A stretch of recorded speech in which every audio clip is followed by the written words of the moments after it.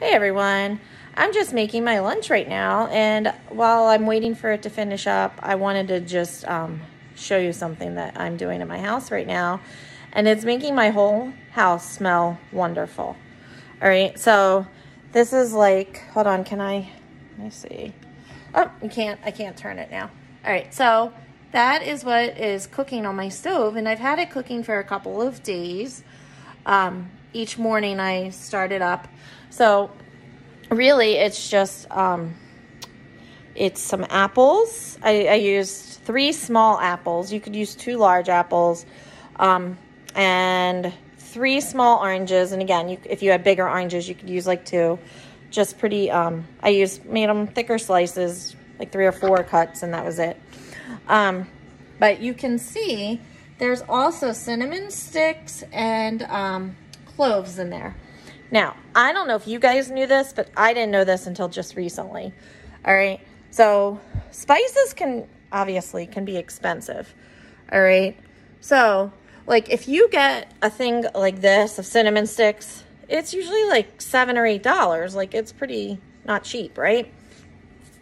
And the same thing with whole cloves. Like if you get the store brand, these aren't whole cloves, but they're they're not so expensive.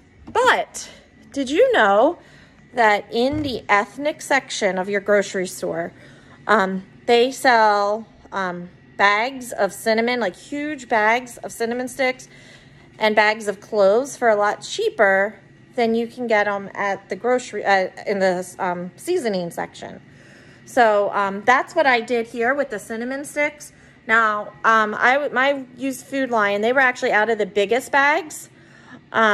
But like you can get like 50 cinnamon sticks for $5 in the ethnic section. Um, and I used a little bag of cloves, which was like a dollar. Um, so that's just your little tip for today. Like I cut this up on, I think I did a Tuesday and it has been, it's still going. Like it'll go, I think for like the weekend and then I'll make a new batch on Monday or Sunday night for Monday morning.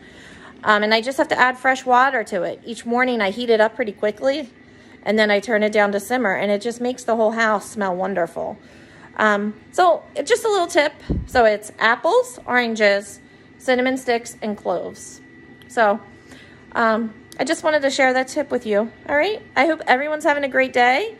Um, so bye.